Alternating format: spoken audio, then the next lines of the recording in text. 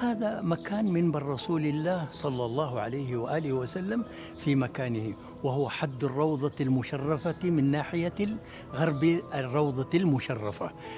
المنبر النبوي الشريف النبي صلى الله عليه وآله وسلم كان يخطب بجوار جذع نخلة فكان يستند على هذا الجذع صلى الله عليه وسلم. ثم بعد ذلك جاءت امرأة من الأنصار وكان لها غلام نجارا فاستأذنت النبي صلى الله عليه وسلم في أن تصنع له منبرا.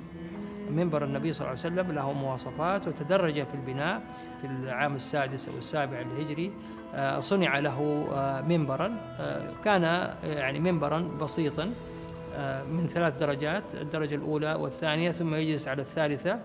ويعني عرضه في حدود الذراع ونصف وطوله ذراعين وارتفاع كل كل درجة شبر تقريبا. فكان يقف على الدرجة الثانية ويجلس على الثالثة.